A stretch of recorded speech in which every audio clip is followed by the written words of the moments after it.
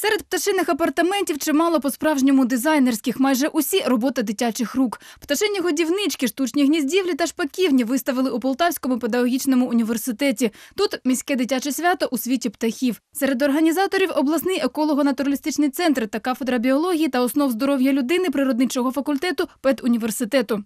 Під час свята в рамках цього свята будуть проведені конкурси з різних напрямках, в різних номінаціях, але всі вони будуть стосуватися питань орнітології.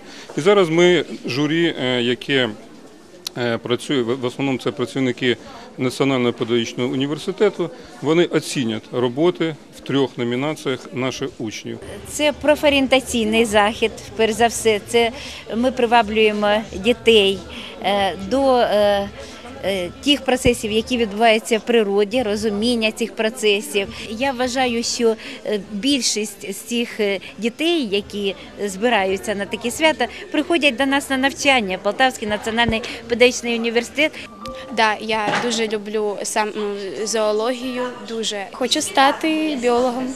Окрім виготовлення годівничок, перед школами стояло завдання намалювати птахів. Я зобразила на цьому малюнку лелеку, який летить на свою батьківщину. Діти кажуть, про птахів дбають не тільки перед конкурсом. створювати годівнички, доглядати за птахами. Ми змішуємо корми і завжди намагаємося їм допомогти. В цьому році біля нашого подвір'я в нашій школі вродила горобина. Да. У члени гуртку юні друзів природи заготовляють плоди на зиму для наших пернатів друзів. Ось прискіпливе журі роздивляється і відбирає малюнки, а провідний орнітолог вишу відбирає кращі шпаківні та годівниці. Виявляється, просто краси тут замало. Щоб вміщалося гніздо певного виду, шпака, наприклад, да? льоток був теж підходящий для його тіла, діаметр. Е, Не було ніяких присад до цих. Е, Вон, бачите, деякі торчать присади. Ті присади не дуже вони нужні тому шпаку. А от сорока чи сойка сяде там, будь здоров.